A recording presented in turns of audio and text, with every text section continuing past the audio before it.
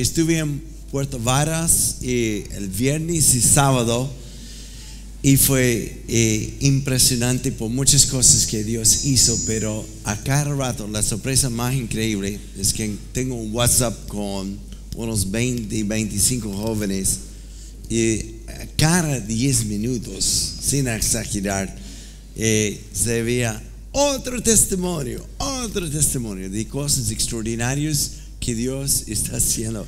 Me gustó lo que dijiste, tenemos que dejar de ser gallina. Súper bien, súper bien. Amén, amén. Um, en el avión, eh, en camino allá, estaba sentado al lado de un par de ancianos, como la edad mía, ¿ya? Uh, y sentí en todo el viaje que la señora al lado mío tenía un fuerte dolor de columna. Y me habló, me habló, me habló. Y finalmente cuando aterrizamos en Puerto Montt, la pregunté. Y efectivamente fue así, aunque no me dejó orar por ella. Así que y en el hotel, em, el joven que me atendió, eh, también tuve una palabra para él y oré y fue impresionante, impresionante. Así que quiero animarles. Um, ¿Cuántos se han atrevido en esta semana a compartir el Señor con alguien? Levanten la mano, ¿ok? O mejor pónganse de pie. Los que atrevieron a cruzar la raya de gallina, ¿ok? Con o sin fruto, ¿ok? ¿Por qué no aplaudemos a ellos? ¿Ya? ¿Ok? Muy bien. Excelente. Amén. Hay que celebrar los riesgos. Y esto estamos haciendo. Amén. ya. Fui tanto que, ah, no sé si van a cachar lo que quiero decir. Yo soy fanático de la pesca. Así que y estaba frente al lago de Yanquiwe y en la orilla del lago estaban pescando frente a mis ojos. Estaban sacando salmones así. Y Robbie enseñó sobre la venganza. Así que no pude pescar, así que me dediqué a pescar hombres nomás. ¿Ya? Eh, fue tremendo. Ok. Vimos cosas extraordinarias, muchos milagros, mucha manifestación de Dios. Y esta mañana quiero compartir uh, con el tiempo que me queda sobre quiénes somos. ¿Cuántos me han escuchado hablar de esto? ¿Quién soy yo para Dios? Tres personas. Qué bueno. Entonces voy a hablar una vez más sobre esto, ¿ya? Que les quede esta vez, ¿ya? Um, creo que es importante um, hablar un, poco como resumir un par de cosas que hemos dicho y a la vez de una forma u otra hablar eh, sobre qué es lo que dice la Biblia, sobre quiénes somos. Eh, en Génesis capítulo 1, versículo 26 al 28, está muy claro que, que en este pasaje, antes de la creación, Dios dijo al Hijo del Espíritu Santo, hagamos el hombre a nuestra imagen y semejanza. La imagen y semejanza de Él, de ser como es Él, de tener el aspecto, apariencia de Él, de tal manera que la creación al vernos podría ver en nosotros la representación de Él. ¿Aló? Y todo va bien en el momento de creación hasta que aparece la serpiente. En la serpiente gran parte de su, engaño fue cuando habló con Eva, y Adán también estaba involucrado, en hacer cuestionar algo que decía Dios. Cuando dijo, si ustedes comieron de este árbol que es prohibido, está prohibido de comer de esto de parte de Dios, porque Él no quiere que ustedes sean como Él. El pecado de Adán y Eva no fue rebelión, sino fue no creer lo que Dios dijo de ellos, sino creer la mentira. es como que el diablo siempre trata de hacernos sentir como que Dios está reteniendo algo de nosotros.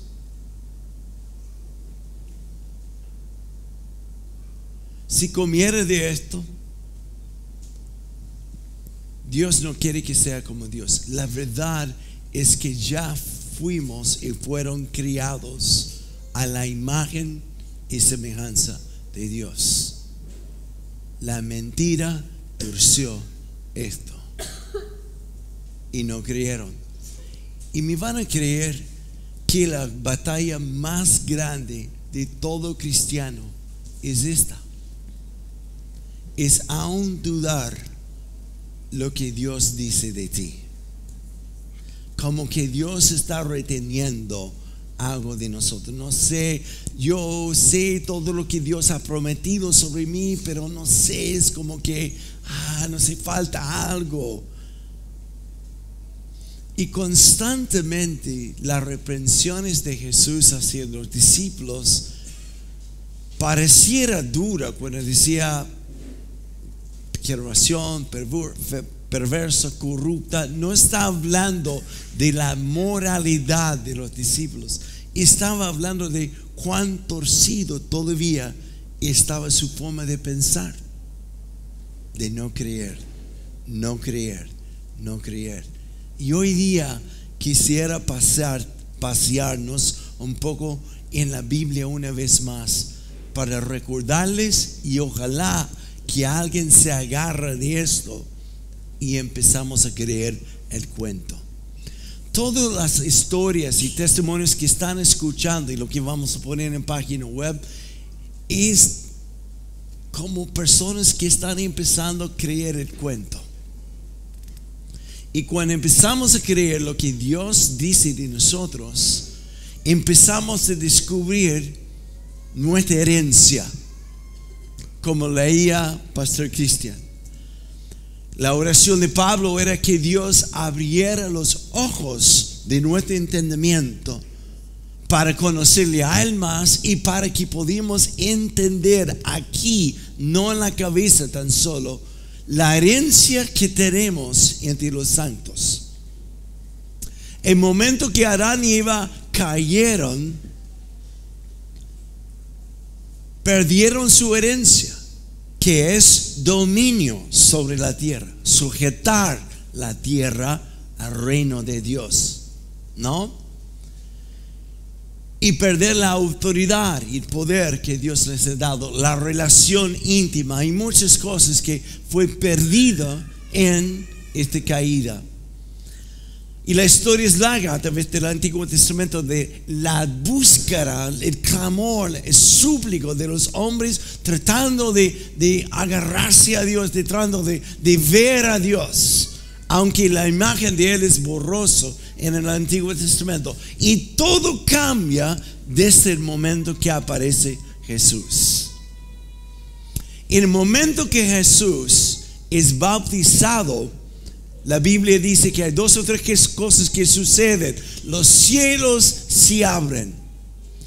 Y es una definición de parte de Dios el tiempo de la espera, el tiempo del dominio de Satanás, el Dios minúscula de este mundo que ha cegado los ojos de los, de los creyentes.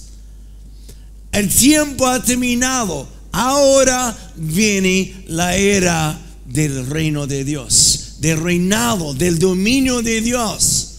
Y no fue un mensaje lindo. Descendió el Espíritu Santo sobre Jesús. Y todos oyeron una voz en el cielo que decía a Jesús de Padre de Padre, Él es mi Hijo en quien tengo complacencia.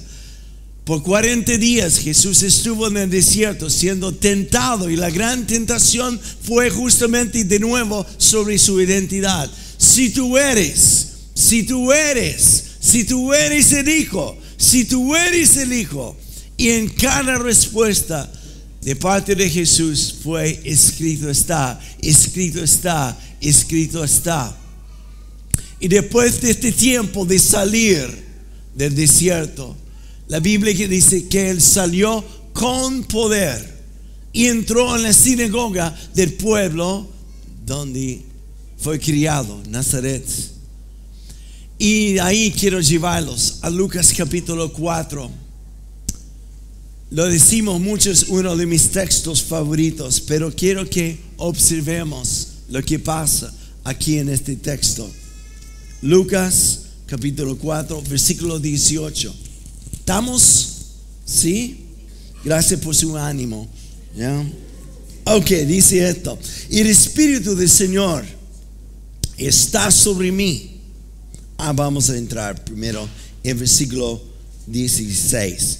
Fue en Nazaret donde se había criado y un sábado entró en la sinagoga como era su costumbre y se levantó para hacer la lectura y le entregaron el libro del profeta Isaías. Ya desenrollarlo, encontró el lugar donde está escrito, el Espíritu del Señor está sobre mí, por cuanto me ha ungido para anunciar buenas nuevas a los pobres.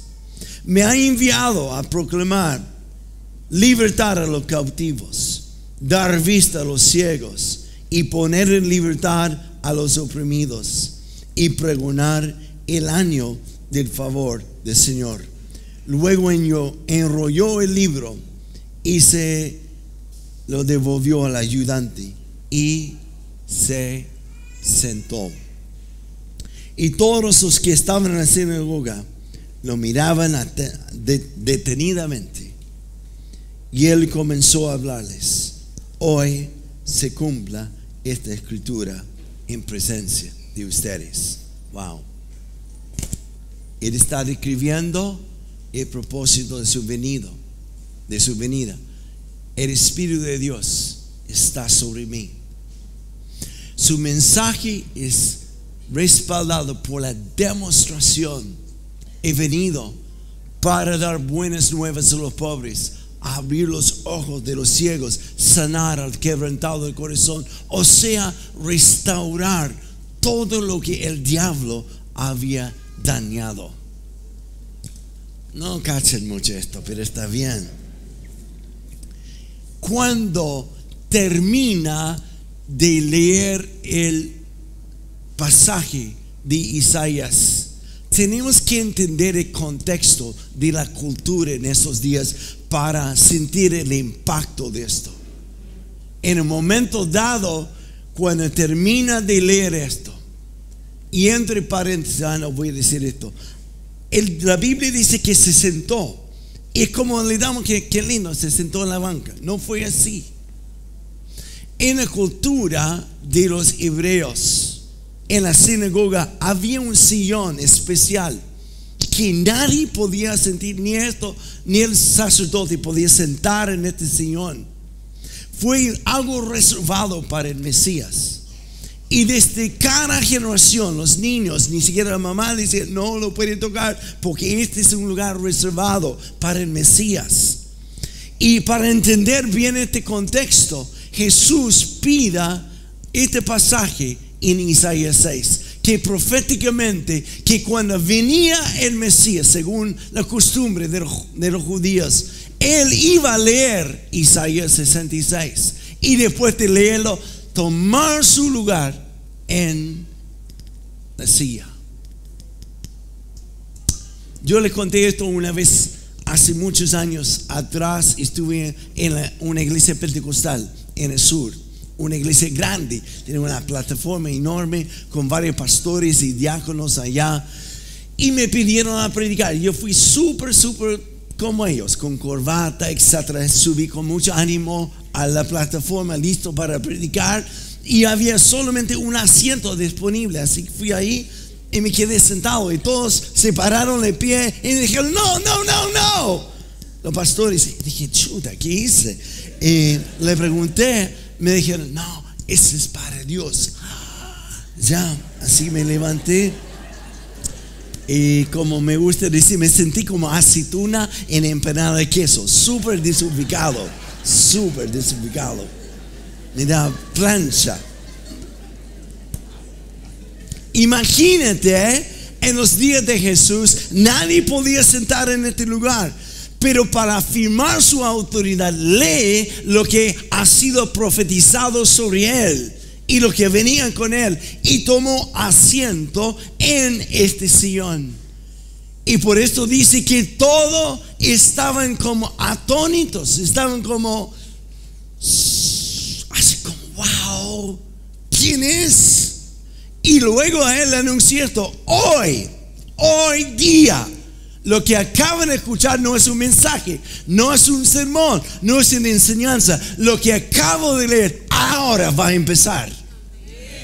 Aleluya. Aleluya.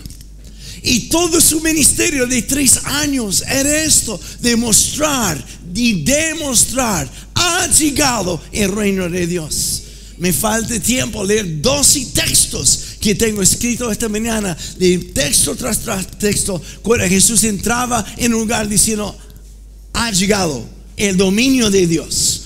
No está llegando una religión más, sino el cielo está tocando la tierra. Y lo que ha sido el diseño de Dios ahora es decretado. Ahora ha venido el dominio de Dios. Ahora ha sido restaurado el propósito y diseño de Dios. Y si quieren llamarme algo, llámame el segundo Adán, porque este fue el plan original de Dios. Aleluya. Hmm. Y lo más increíble es que todo este tiempo que los discípulos le estaban siguiendo, estaban observando, estaban ah, sobrecogidos, estaban como, wow, es, no, no, es, wow, eso es increíble. Este es lo que hemos siempre oído, hemos siempre leído. Él es, Él es. Y luego Jesús dice esto en Juan 14 versículos 11 y 12. Ah, hablando de los fariseos. Si ustedes no me creen por mis palabras, observen las obras, porque no son meras palabras. Dios me ha enviado a hacer su obra, que es sanar, que es liberar, que es sanar el quebrantado del corazón, es de entregar el mensaje de buenas nuevas a todos los pobres del corazón, a lo que ha sido rechazado por la religión. Ha llegado tu tiempo de ser restaurado según la creación de Dios. Y luego dice esto, mirando a sus discípulos, si ustedes creen que lo que yo estoy haciendo es algo increíble, esperen, porque vendrá el consolador sobre ustedes. Y la misma cosa que yo estoy haciendo, ustedes harán también y aún mayores cosas. ¿Por qué? Porque Dios está determinado a restaurar su identidad en ti, que tú representas a Dios no un evangélico, no hagan de la viña, no una religión nueva, sino el cielo tocando la tierra a través de ti y en ti. Aleluya. Aleluya. Este es su plan. Este es su plan. No le interesa que hagamos una iglesia más en esquinita. Le interesa que tú entiendes por convicción ¿quién eres tú? Y te digo esto, y lo he dicho miles de veces, pero algunas, algunas lo van a cachar en el momento, ya. Si tú podrías ver y entender quién eres tú, no habría demonio en el infierno que te podría detener. Hmm. No tengo idea dónde estoy mi sermón, pero está bien. ¿Qué es lo que vino Jesús a hacer? para restaurar su identidad en nosotros, tenía que ser una nueva creación. Y eso es lo que estableció en la cruz. Quiero que escuchen esto. Cristo vino primero para perdonar nuestros pecados. Porque nosotros tenemos una historia del pasado y tenemos una historia un comportamiento de siempre mirar a nuestro pasado y quedarnos pegado allá.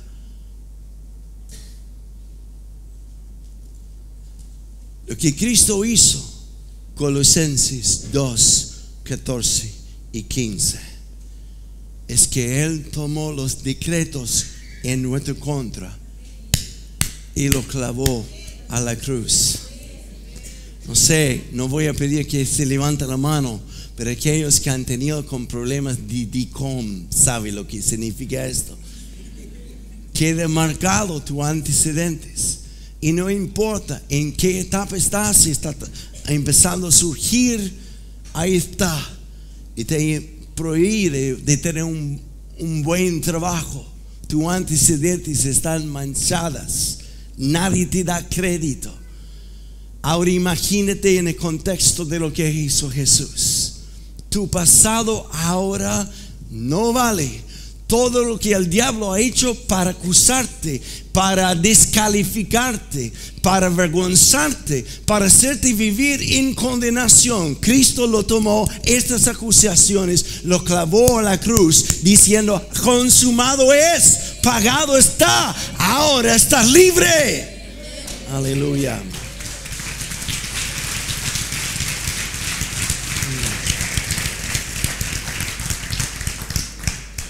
Algo pasó en el momento de la cruz. Mi pasado murió y ahora he sido resucitado a una nueva vida de no solo sentir un poco de Dios o asistir a una iglesia, sino ha sido colocado sobre nosotros el favor de Dios. Nos ha coronado con su gloria y hemos sido escogidos por Él para representar a Él en la tierra. Ah, algunos dirían que dice en el Antiguo Testamento que Dios dice, no daré mi gloria a otro. Algunos citan esto, no daré, daré mi gloria a otro. La verdad es que tú no eres otro, tú eres hijo de Él y sobre ti ha puesto su gloria. Hmm. Esto me anima a mí a escuchar esto ya. Amén, amén tu identidad, tu identidad. ¿Sabes quién eres tú? Alguien que ha sido perdonado. Hmm. No significa que olvides tu pasado, pero significa que al mirar tu pasado ya no lo ves como antes, sino a través de la sangre de Jesús. Nueva criatura es. Y sobre Jesús fue puesto todo autoridad y todo poder. Y ahora ha sido dado a nosotros. Yo sé que la tendencia nuestras veces es cuando estamos en aprietos o tentaciones o pruebas. Es como exaltar un poco el diablo como cada rato hemos sido como entrenados y no es descalificar el diablo en total, pero es entender quién soy que hace la diferencia. Dios me ha dado su poder y potencia para sujetar, sujetar al diablo. Ajá. Por eso cuando escuchamos testimonios como estos de sanidad, es entender aquí y aquí quién soy, quién soy. Yo me acuerdo que cuando tenía 9, 10, 11 años de edad, mi primera pega en la vida fue entregar diarios puerta a puerta. Y um, era un pueblo pequeño, así que generalmente caminaba después de las clases eh, en la tarde, ahí entregamos el diario. Y había una casa en particular, hasta puedo decir el nombre del dueño de la casa, porque me marca, que tenía un perro que se llama, el perro es un, se llama Beagle, ¿no? Alguien ubica la raza de Beagle, son pequeños, pero bravos a veces, ¿no? Y esto cada vez que llegué a la casa cerca de la propiedad, salía y empezaba a ladrarme y mostrarme sus dientes. Y siendo tan chiquitito yo y también temeroso de los perros, yo en vez de el diario a la puerta, que era mi costumbre, yo lo enrollaba y con un elástico lo tiraba nomás para no enfrentar el perro. Y me tenía realmente aterrorizado más que una vez. Me olvidé que él estaba ahí guardando y salía detrás de un arbusto y me asustó y salí corriendo y él detrás de mí ladrando todo el camino, como media cuadra, ¿no? Y me acuerdo que en un invierno estaba nevando y mi padre me llevó en su auto para entregar los diarios. Y al verme llegar a esta casa y mi costumbre enrollar el diario y tirarlo. Me dijo, ¿por qué estás haciendo esto? Dije, hay un perro ahí y siempre está escondido esperándome.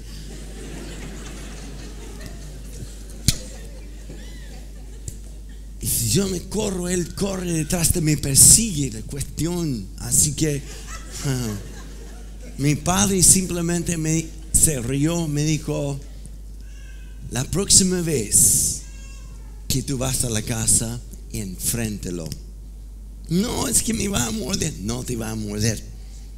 Así que lo enfrentas y lo gritas diciendo, no. Dije, claro, es fácil para decir.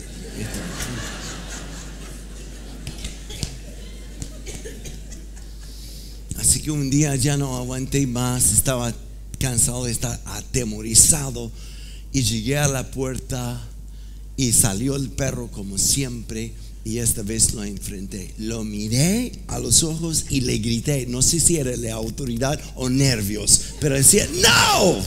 Y así, hacía con mi pie. Y a mi sorpresa, se metió la cola entre las piernas y corrió él. Tú tienes autoridad y poder para enfrentar y sujetar. Romanos 15 dice, y el Dios de paz aplastará en breve el diablo debajo de vuestros pies. ¿Quiere aplaudir al Señor?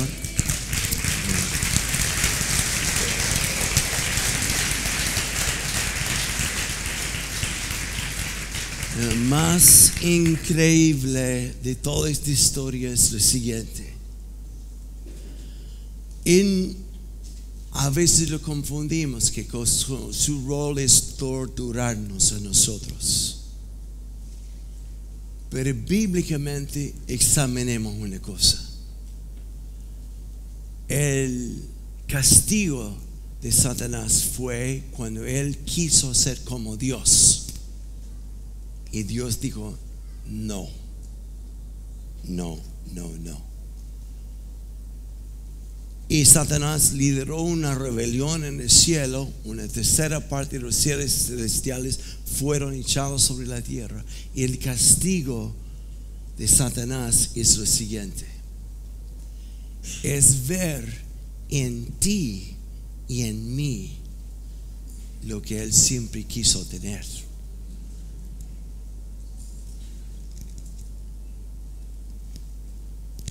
Por esto, hemos sido llamados a torturar a aquel que atormenta a otros. Nunca chance, eso es tremendo. Esto eres tú. Esto eres tú. No es por tus logros, esto sería arrogancia. Pero tú puedes sanar las personas. ¿Por qué? Porque tu papá ya lo hizo. Puedes liberar a las personas de los demonios. ¿Por qué? Porque tú eres hijo del Padre, hijo del tigre. Aleluya. Mm. Y a Dios le fascina hacer doblar la rodilla de lo imposible delante de Él.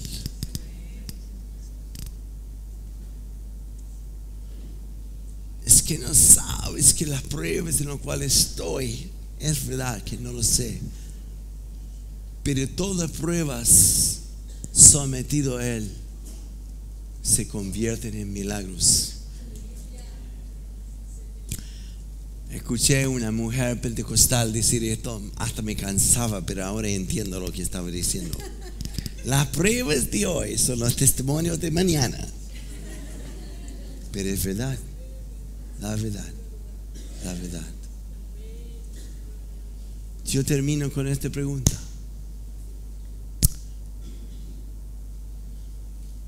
Si Dios sabe quién eres tú, si el diablo sabe quién eres tú,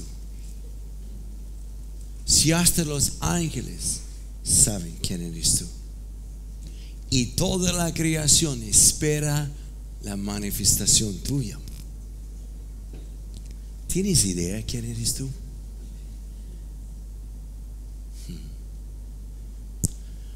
tú reproduces donde está tu mirada. Si todavía estás mirando a lo que no tienes, a tus fallas, a tus pifias, a lo que aún faltas, eso es lo que vas a reproducir. Pero si empiezas a ver los pensamientos de Él hacia ti y abrazarlo en fe, Eso es lo que reproducirás. El diablo ha venido para acusar, mas Jesús vino para defender. Este es mi hijo. Y me cae tan bien. Ah, yo he dicho esto antes también, que dos o tres años, hace dos o tres años, nunca podía mirar al espejo sin decir, ah. Y ahora, literalmente, no todas las mañanas, porque estoy dormido todavía cuando estoy mirando el espejo, pero cuando me veo, digo esto, me caigo tan bien. Porque me veo a través de sus ojos. Si miro detenidamente a su palabra, en el espejo de su palabra, voy a empezar a ver el reflejo de Él en mí y creer el cuento. Yo vi menos de la mitad de las manos levantadas cuando pregunté cuántos cruzaron la raya de gallina. Este no es un mensaje de condenación, pero advertencia. Lo que Dios sembró, si no lo tomes y te atreves a creerlo, perderás lo que ha sido sembrado en ti. Pero si quieres ver fruto, tome la semilla, cultívelo, atrévete a hacerlo. Y te aseguro, la próxima semana tendremos centenarios de testimonios de personas que están creando la cuenta de quiénes son en Él. Amén. Amén. Póngase de pie, vamos a orar.